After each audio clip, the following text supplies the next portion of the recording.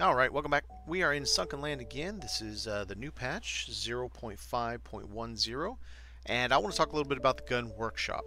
So, it has changed some. You no longer tear your weapons down here. You put your weapons in the recycler, and then that gives you your parts.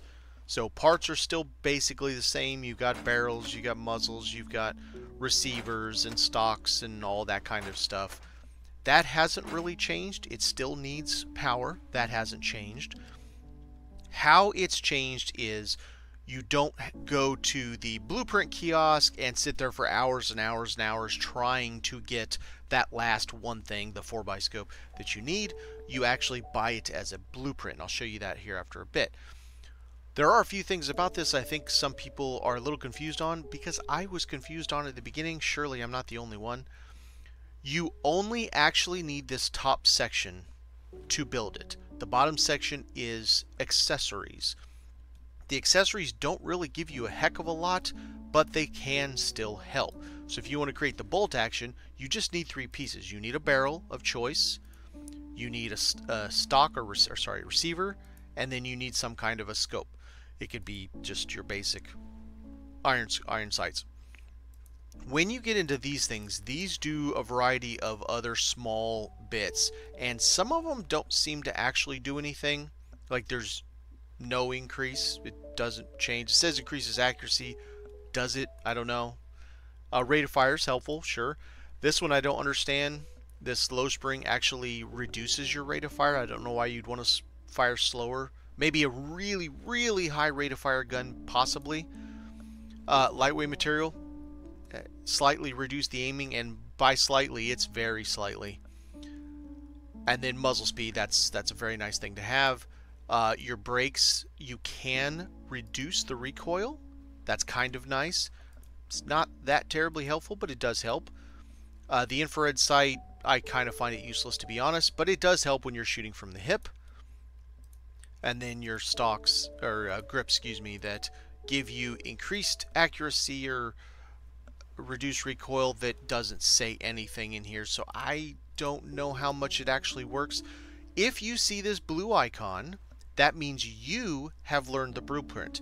Either you found the blueprint or you bought the blueprint. So you can put it with just these three. So like this one right here, I can produce it if I have these. So if I have these on me, I can produce this guy right here. I do not know the blueprints for these yet. I don't know the blueprints for any of these. So I have to have physically, and you can see like this SVD for example, we have one of these available. Now you're like, oh man, what box did I put it in? There's a trick that I just found out last night. You go up here to the top, gun parts storage. Go to gun parts storage, find your sniper rifle right here, the SVD. I can put it straight into my backpack. It's now in my backpack. I don't know where it was, it was probably right here, but now it's in my backpack.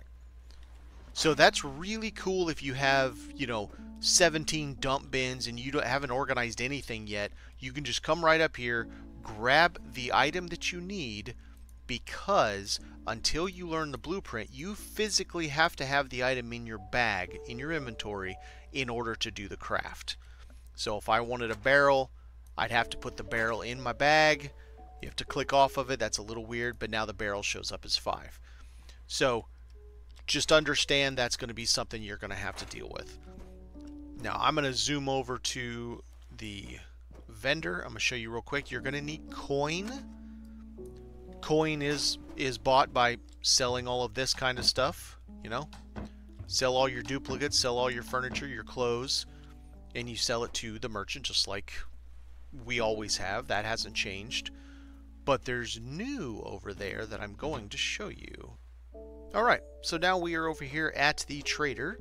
The platform is a little bit bigger, and you'll understand why in a moment. So you can come over here and you can buy your coins with stuff that you sell. You can also get a variety of things from her as you always have been able to. But if you come back to this back section, there's a new guy. This guy sells blueprints. Now if you got a check mark, you've already learned it. If you don't have a check mark, that's obvious. And then you can give your coin amount So like this infrared sight, if I want to be forever able to build it, I can buy it for four coins. You just right click till it gets to four. Boom, you now have it. It's in my backpack and now I have learned it. Then if you want to go and get, I'll show you while I'm here, even though it's not part of weapons. Hello. You have a trader here for furniture items. They also sell things like safes, blueprints to do the safe. And then the last one is a vendor to do, well, I don't call it a vendor, it's a quest giver. So I want to take the contract and you pick a thing and you got to make that thing and then you come back and you get rewards for it. So that is how you are going to work on the new weapons bench. If you hit B, it is in this right here and it is Advanced Firearms Workshop. So you'll just have to tier up a little bit. I think that's tier 3 and you can make this, and then you can uh, craft all the happy things you want. Thanks for watching.